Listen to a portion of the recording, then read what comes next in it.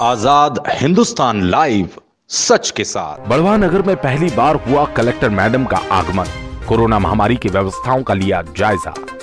आपदा प्रबंधन समिति की बैठक लेकर जनप्रतिनिधियों, नगरवासियों की समस्या से कलेक्टर मैडम हुई रूबरू।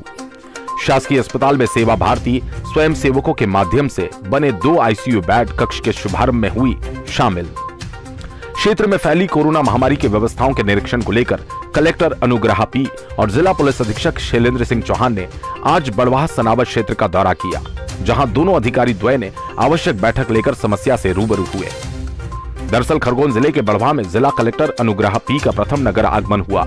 इस दौरान समस्त प्रशासनिक अमला मुस्तैद नज़र आया, जिनके माध्यम से कलेक्टर मैडम ने पहले सनावत क्षेत्र के शासकीय अस्पताल का दौरा किया, जिसके बाद बड़वा जनपद सभा कक्ष में आपदा प्रबंधन की आवश्यक बैठक ली गई, जहाँ सभी विभाग के अधिकारी और कांग्रेस विधायक सचिन बिरला, भाजपा नगर मंडल अध्यक्ष चंद्रपाल सिंह तोमर सहित समिति सदस्य उपस्थित हुए, जिन्होंने कोरोना काल के तहत नगर में लगे लॉकडाउन के कारण नगरवासियों और व्यापारियों को होने वाली समस्या से अवगत करवाया।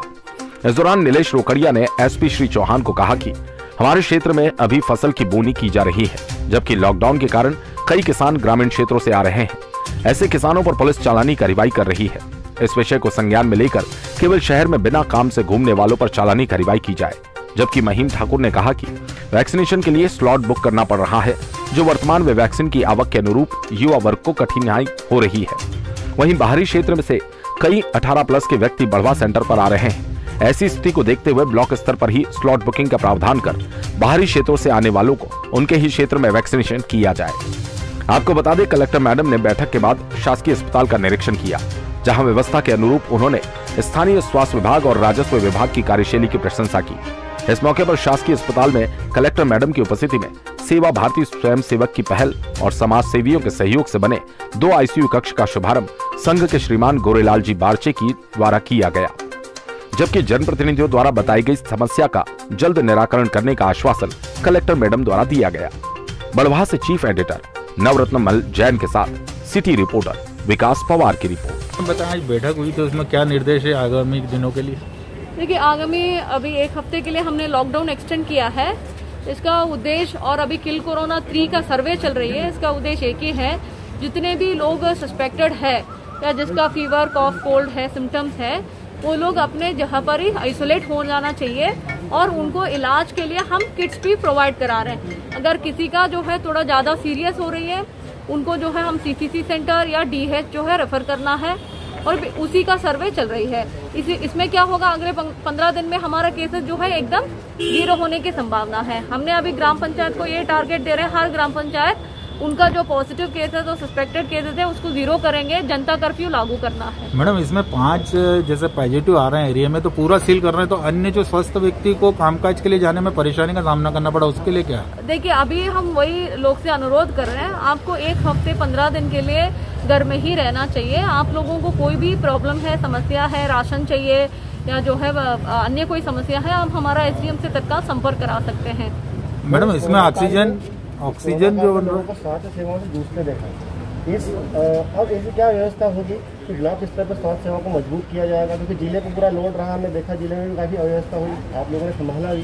ब्लॉक स्तर पर किस तरह से देखिए अभी हमने ये प्लान कर रहे हैं जैसे कोविड का जितने भी जाँच चाहिए एक्सरे है सीआर सिस्टम है ब्लड जो है टेस्ट करने के लिए मशीन है ये भी जो है हमने सभी ब्लॉक लेवल हॉस्पिटल्स को उपलब्ध करा रहे हैं उसका प्लानिंग हो चुका है उसके ऑर्डर प्लेस हो चुके हैं।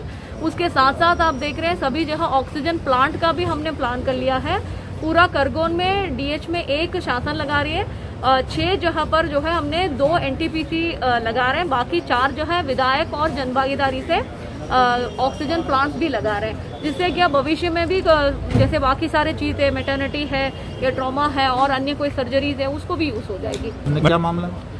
देखिए ये यहाँ जनभागीदारी से लगा रहे हैं। तो उसमें जो है निविदा हमको विधायक निधि अगर जोड़ रहे हैं तो निविदा जो है हमको करना पड़ता है। तो मैडम इन लोगों ने जो अभी पेमेंट कर दिया है मशीन लाने के लिए उसका क्या होगा? हम देख लेते हैं उसको। अगर पूरा जन भागीदारी में ही कर रहे हैं तो फिर निविदा का कोई ज़रूरत नहीं पड़ती है। मैडम आगामी दिनों में ये लॉकडाउन बढ़ाते रहेंगे की कुछ इसमें डील भी दी जाएगी? अभी जो है कुछ छूट अगले हफ़्ते से मिलना चालू होगी। महर अभी में आखिरी तक जो है लॉकडाउन चालू रहेगी।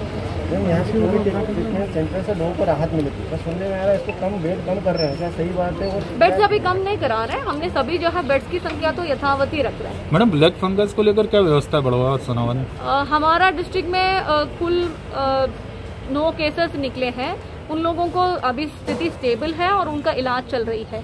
मैडम, सनावद में कुछ अस्पतालों को लेकर अनियमितता पाई जा रही है, उस पर आपकी तरफ़ से क्या कार्रवाई? हमने अभी कार्रवाई कर रहे हैं। सीएमएचओ वगैरह नोटिस भी दिए हैं हॉस्पिटल्स को। उनका ऑक्सीजन की बिल्स वगैरह थोड़ा ज़्यादा दिख रही है।